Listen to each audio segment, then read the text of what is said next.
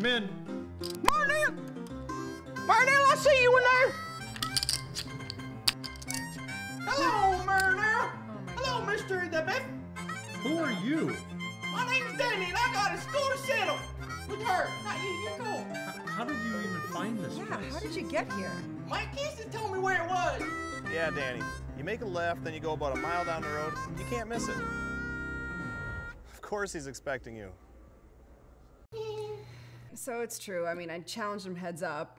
Listen, Hammer Dropper, I'm challenging you. No limit, heads up, let's go. He- He's trying to get into the big game. Hell yeah! Oh, right, right.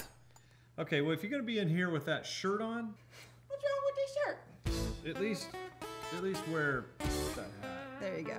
I am conflicted, but I will survive! Good Proceed. grief. Okay, you ready? Good hand! I fold. You fall Superman on laundry day! I don't even know why you're wearing glasses, because I can read you like a book.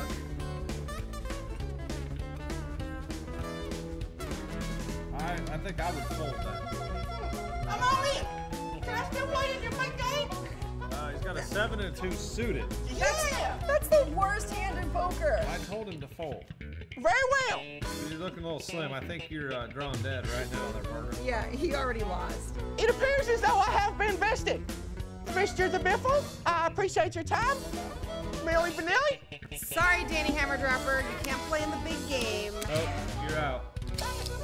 well, anyway, can, can you give me Carl Edwards' autograph? Oh, wow. Get Take- out of here. take Get his out hat. of my house. Take the hat back. Eh, Bye, Hammerdropper. Sorry.